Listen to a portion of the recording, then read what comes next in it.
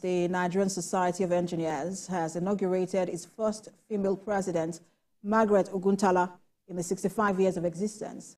The new president has pledged to prioritize implementation of grade level zero as the entry point for engineers in government services, especially in states that have not implemented the policy. Correspondent Habida Lawal reports. Shortly after investiture, NSE president has asked that the federal government implement fully the Presidential Order 5, which promotes the consumption of made-in-Nigerian goods and services.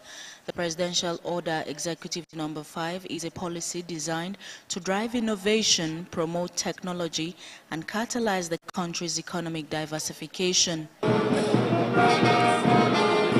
The engineering body also appeals to more students to pursue engineering careers and contribute to nation building.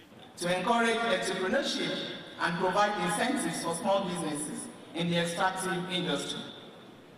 To promote STEM education for more students to pursue careers in engineering and to create an enabling environment for collaborations between engineering companies and universities for developing new technologies.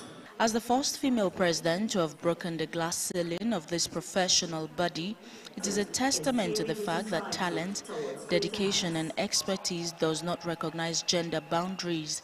The Nigerian Society of Engineers says it recognizes the invaluable contributions of women in shaping the future of engineering. Numerous obstacles that hinder our growth and development.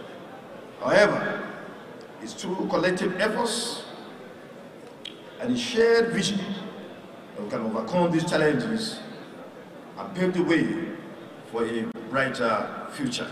The issue is she's qualified, she has the capacity, and she has an agenda. So I will say I have keyed into your agenda and I will support that agenda.